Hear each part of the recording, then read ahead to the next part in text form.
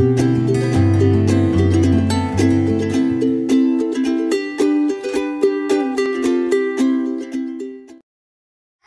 friends welcome to Anju sweet home അപ്പോൾ ഇന്ന് നമുക്ക് എങ്ങനെയാണ് ഗ്യാസ് ക്ലീൻ ചെയ്യുന്ന ഗ്യാസ് സ്റ്റൗവ് ക്ലീൻ ചെയ്യുന്നതെന്ന് നോക്കാം. അപ്പോൾ ഇവിടെ അതേ ഗ്യാസിന്റെ ഇതെല്ലാം നന്നായിട്ട് ഇതിൽ എണ്ണയൊക്കെ വീണ് കിടപ്പുണ്ട് വെള്ളമൊക്കെ വീണ് നല്ല അഴുക്കായി ഇരിക്കുകയാണ്. അപ്പോൾ ഇതെങ്ങനെയാണ് ക്ലീൻ ചെയ്യുന്നതെന്ന് നോക്കാം. അപ്പോൾ ഇതിന് മുമ്പ് വേറൊരു ട്രിപ്പും കൂടെ തരാം. നമ്മൾ കുക്ക് ചെയ്യുമ്പോൾ തന്നെ ദേ കണ്ടോ ഇങ്ങനെയൊക്കെ എണ്ണ എണ്ണയൊക്കെ കിടക്കുന്നുണ്ട്. അത് അപ്പോഴേ തന്നെ നമ്മളിങ്ങനെ ഒരു തുണി ഉപയോഗിച്ച് വൈപ്പ് ചെയ്ത് മാറ്റുകയാണെങ്കിൽ അത് പോവും. അതുപോലെ തന്നെ ഇതുപോലെയുള്ള മുളകിന്റെയൊക്കെ സ്പില്ലേജ് എന്ന് പറയുന്നത് നമ്മൾ അപ്പോഴേ തന്നെ വീഴുന്ന കാണുമ്പോൾ തന്നെ ഒരു തുണി വെച്ച് ഇങ്ങനെ തുടയ്ക്കുകയാണെങ്കിൽ ഇത്രയും അഴുക്കാവില്ല.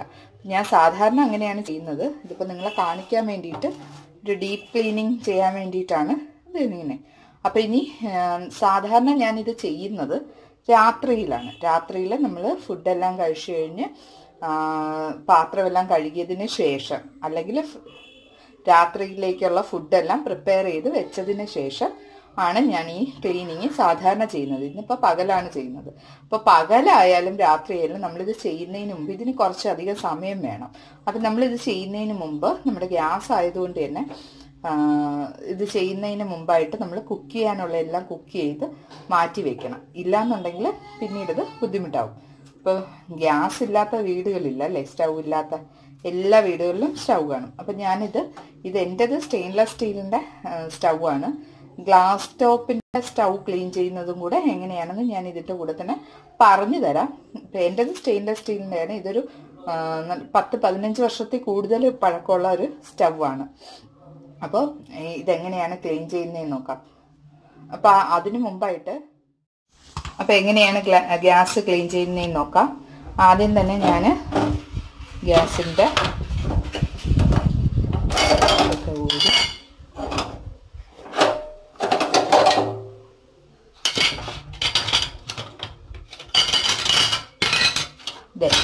വലിയ ബേസൺ എടുത്തിട്ടുണ്ട്. ഇതിലേക്കാണ് ഇട്ടിരിക്കുന്നത്. പാർട്സ് ഞാൻ എടുത്തിട്ടുണ്ട്. വെള്ളം മുങ്ങുന്ന അളവിന് വെള്ളവും ഒഴിച്ചു കൊടുത്തിട്ടുണ്ട്. ഇനി അതിലേക്ക് നമുക്ക് സോപ്പ് പൊടി.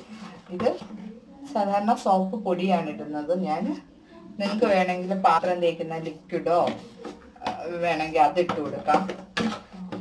എന്ത് വേണോ അങ്ങനെ സോപ്പിന്റെ ഇതുള്ള എന്ത് വേണോ ഇട്ട് കൊടുക്കാം. അപ്പം നമുക്ക് ഇതൊന്ന് മിക്സ് ചെയ്ത് കൊടുക്കാം.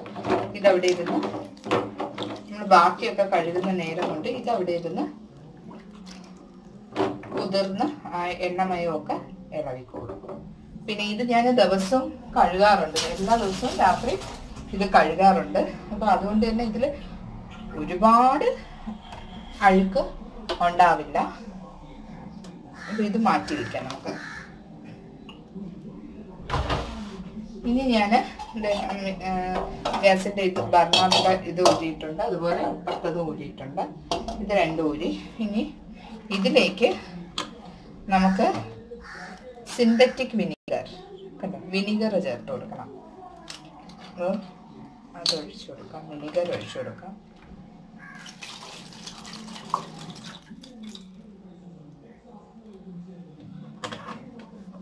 വിനീഗർ മാത്രം ഒഴിച്ചാൽ മതി. പക്ഷേ ഒഴിക്കുമ്പോൾ ഇത് മുങ്ങണം.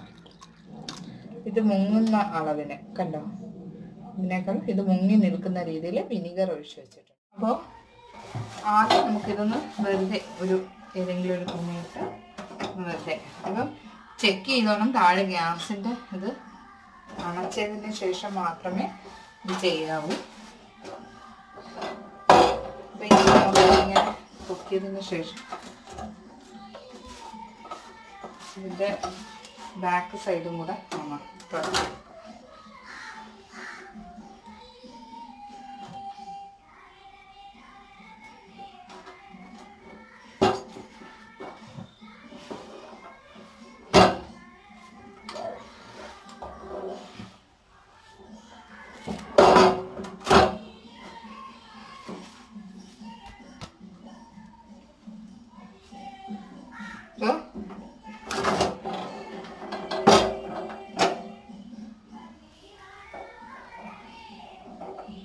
അപ്പോൾ നിങ്ങൾക്ക് ഈ ഇതിന്റെ ഇത് കണ്ടോ? ഇതും ഇതുപോലെ ഊരിയെടുത്ത് ഇതും കൂടെ നമുക്ക് സോപ്പ് വെള്ളത്തിൽ ഇട്ട് കൊടുക്കാം. അപ്പോൾ ദേ ഇത് കണ്ടോ ഇവിടെയൊക്കെ? ഭയങ്കര അഴുക്ക് കാണാവോ? ഞാൻ കാണിച്ചിട്ട് കണ്ടോ? ഇത് നമ്മൾ കൂടെ കൂടെ ഇളക്കി കഴിയണം ഡെയിലിയുള്ള ക്ലീനിങ്ങിൽ ഈ ഭാഗം എന്തായാലും നമുക്ക് ക്ലീൻ ചെയ്യാൻ പറ്റില്ല. പിന്നെ നമുക്ക് ക്ലീൻ ചെയ്യാം. ക്ലീൻ ചെയ്യാൻ തുടങ്ങുന്നതിന് മുമ്പായിട്ടെ ജസ്റ്റ് ഒന്ന് വെള്ളം വെച്ചൊന്ന് ചെയ്ത് കൊടുക്കാം. അതിനുശേഷം ഒന്നുകിൽ സോപ്പ് പൊടി യൂസ് ചെയ്യുക അല്ലെങ്കിൽ ഇത് ഞാൻ വിമ്മിന്റെ ലിക്വിഡ് വെള്ളം ചേർത്ത് വെച്ചിരിക്കുന്നതാണ്. അപ്പം ഞാൻ ഈ ഹാൻഡ് വാഷിന്റെ കുപ്പിയിൽ ഇങ്ങനെ വെള്ളം ചേർത്ത് വെച്ച് വയ്ക്കുമ്പോൾ എനിക്ക് പാത്രം കഴുകാനാണെങ്കിൽ എളുപ്പമാണ്. അപ്പം നമുക്കിനി ഇത് തേക്കാനായിട്ട് ഒരുപാട് അഴുക്കില്ലെങ്കിൽ ഇതുപോലെയുള്ള സ്ക്രബ് ഉപയോഗിക്കാം. നല്ല അഴുക്കുണ്ടെങ്കിൽ സ്റ്റീൽ സ്ക്രബ് ഉപയോഗിക്കാം. അപ്പം ഇത് സ്റ്റീൽ സ്റ്റെയിൻലെസ് സ്റ്റീലിന്റെതായത് നമുക്ക് സ്റ്റീൽ സ്ക്രബ് ഉപയോഗിക്കാം. അതേസമയം ഗ്ലാസ് ടോപ്പ് ആണ് എന്നുണ്ടെങ്കിൽ നമുക്ക് സ്റ്റീൽ സ്ക്രബ് ഉപയോഗിക്കാൻ പറ്റില്ല. അപ്പം നമ്മൾ എന്ത് ചെയ്യണമെന്ന് വെച്ചാൽ നമുക്ക് മറ്റേ ഒരു ഗ്രീൻ കളർ സ്ക്രബ് പാഡ് കിട്ടില്ലേ? ആ സ്ക്രബ് പാഡ് യൂസ് ചെയ്താൽ മതി.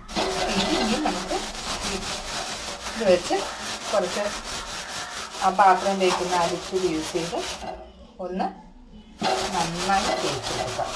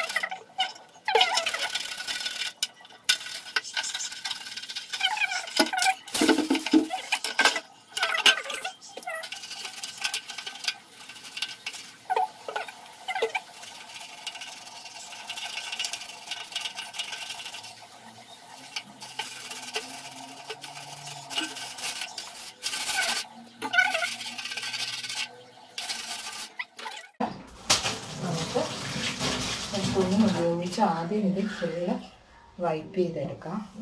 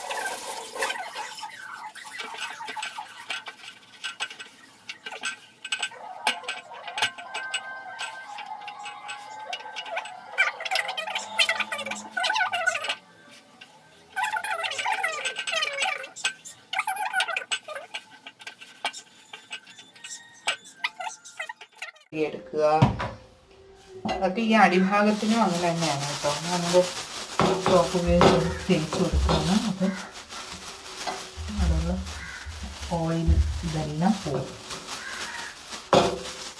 പിന്നെ കഴുകി ഇറക്കാൻ പറ്റും എന്നുള്ളത് കഴുകി ഇറക്കുക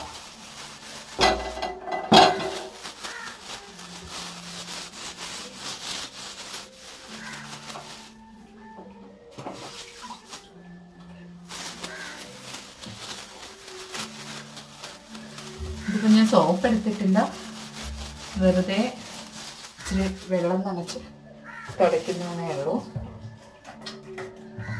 നല്ല അഴുക്കുണ്ടെങ്കിൽ സോപ്പ് ഉപയോഗിക്കാം.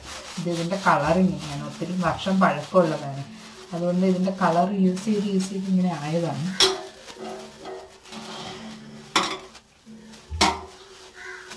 പിന്നെ പുതിയ കിച്ചണൊക്കെ ആണെങ്കിൽ കൂടെ കൂടെ ഇങ്ങനെയൊക്കെ ചെയ്യുകയാണെങ്കിൽ ഒരുപാട് നാൾ പുതിയതുപോലെ തന്നെ കിടക്കും. അപ്പോൾ അതും എല്ലാവരും ഒന്ന് ചെയ്ത് നോക്കണം കേട്ടോ. അപ്പോൾ ഇത് ഇതും കൂടെ നമുക്കൊന്ന് തുണി വെച്ച് തുടച്ചെടുക്കാം. കഴുകി ഇറക്കാൻ പറ്റും എന്നുള്ളവർ കഴുകി തന്നെ ഇറക്കണേ. കഴുകി ഇറക്കുന്നതാണ് കൂടുതൽ നല്ലത്.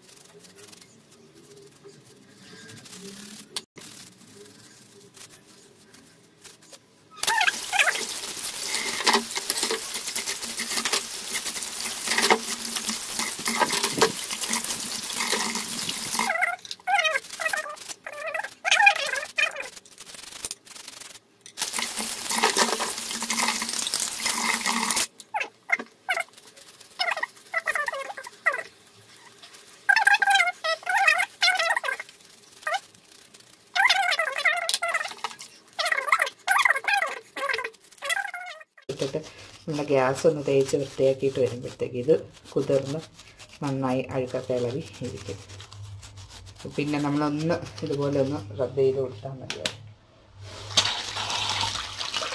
ഇതും കൂടെ കഴുകിയെടുക്കാം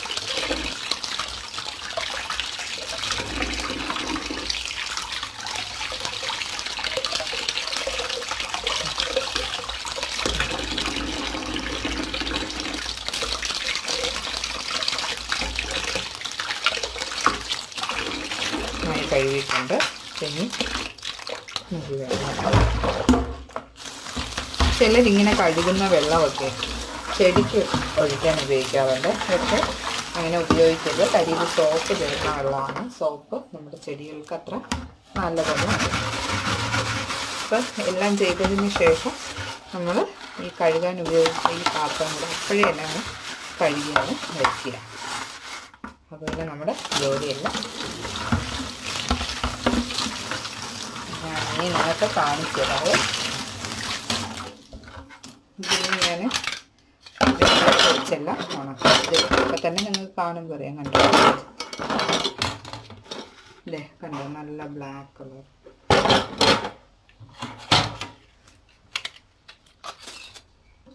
അല്ലേ കണ്ടോ? കണ്ടോ?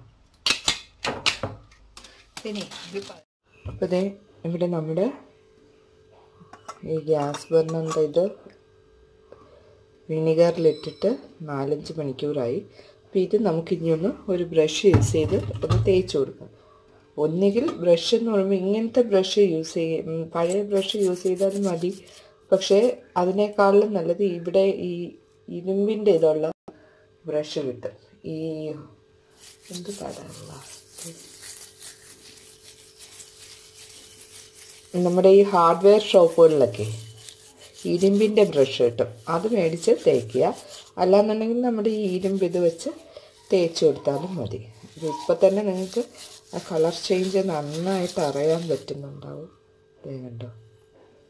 നമ്മുടെ അഴുക്ക് അത്രയും വെള്ളത്തിൽ കണ്ടോ അടിഞ്ഞ് കിടക്കുന്നത് വെള്ളമല്ല കയറില്ല ഇത് നമ്മൾ തേച്ച് കൊടുത്ത് ഇത് തേച്ച് കൊടുക്കാം.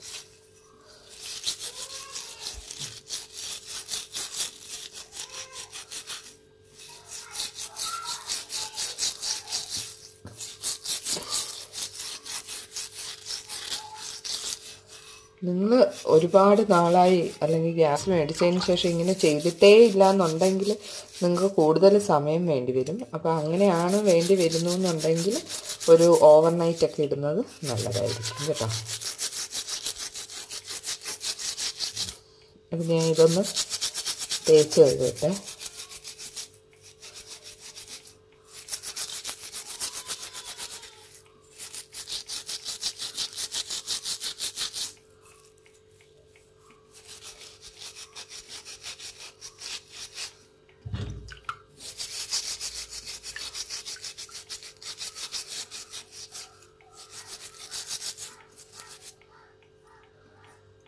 അപ്പോൾ ഈ സമയത്തെ ഈ സമയത്ത് നമ്മൾ ഇതൊന്ന് കഴുകിയതിന് ശേഷം.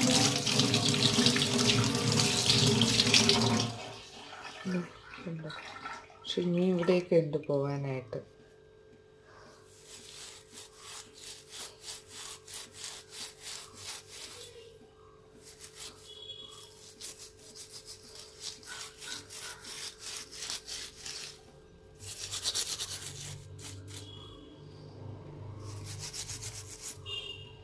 ഇതൊരു ഓവർനൈറ്റ് ഒക്കെ ഇട്ടാൽ മാത്രമേ ഇത് ഫുള്ളായിട്ട് ക്ലീൻ ആവുള്ളൂ. അപ്പം ഞാൻ ഇത് ഇത്രയും നിങ്ങൾക്ക് കാണിച്ചു തന്നില്ലേ കണ്ടോ?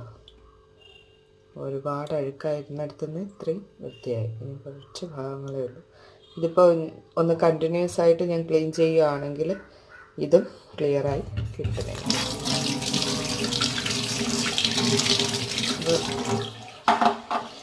അതുപോലെ ഇതിന്റെ കൂടെ ഒന്ന് തേച്ച് കൊടുക്കുക.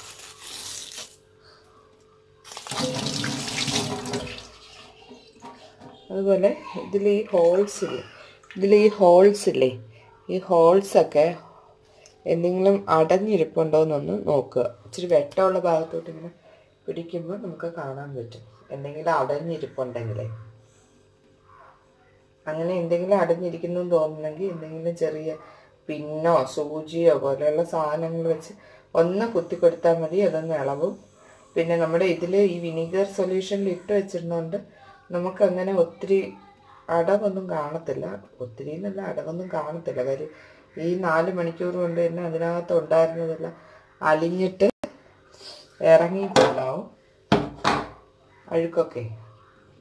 അപ്പോൾ പിന്നെ നമുക്കതുകൊണ്ട് ഈ കളർ മെയിന്റെയിൻ ചെയ്യുക എന്നതിനേക്കാളും ഇതിന്റെ ഇടയിലൊന്നും അഴുക്കില്ലാന്ന് ഉറപ്പ് വരുത്തുക എന്നുള്ളതാണ് ഇമ്പോർട്ടന്റ് കണ്ടോ? ഇത് രണ്ടും റെഡി ആയിട്ടുണ്ട്. അപ്പോൾ ഇതൊന്നും ഞാൻ റണ്ണിങ് വാട്ടറിൽ ഒന്ന് കഴുകി എടുക്കട്ടെ. നമ്മുടെ വിനിഗർ കണ്ടോ? അത്രയും അഴുക്കായിരിക്കുന്നു തുരുമ്പ് അതിന്റെ അടിയിൽ തുരുമ്പ് കാണാണ് ഇത് കണ്ടോ? കാണാവോ? നിങ്ങൾക്ക് അടിയിൽ അടിഞ്ഞു കിടക്കുന്നുണ്ടോ? കണ്ടോ? ഇത്ര ഇതിലിരുന്നതാണ്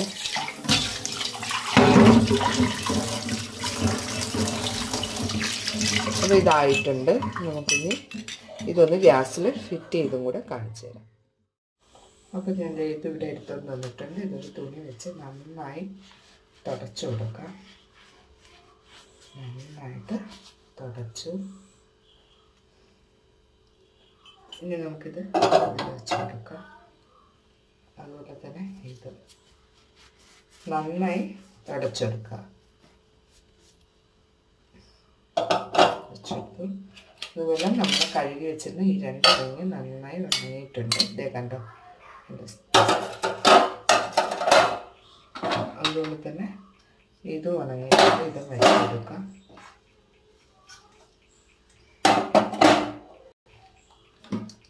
അതുപോലെ തന്നെ നമ്മൾ ഊരിയ ഈ ഗ്യാസിന്റെ നോബ് ഇത് നമുക്ക് വെച്ചെടുക്കാം